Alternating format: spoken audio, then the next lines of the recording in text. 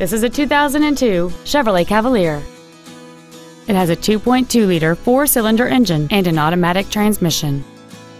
All of the following features are included. Cruise control, a rear window defroster, a pass lock theft deterrent system, tinted glass, composite halogen headlights, an anti-lock braking system, a passenger side airbag, rear seat child-proof door locks, and folding rear seats.